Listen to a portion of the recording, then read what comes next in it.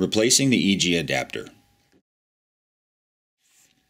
To replace an EG holder, you will need one new EG holder, two M10 bolts and washers, and an impact wrench or ratchet with an M10 socket. Remove the old EG adapter with an M10 socket and impact wrench. Clean the surface of the tool plate with either a rag for light buildup or a wire brush for heavy buildup.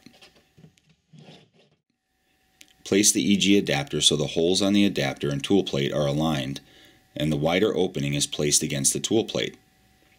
If the EG holder is installed incorrectly, then it will not hold the tool. Hand start each bolt until tight, and then tighten with the impacts wrench or ratchet.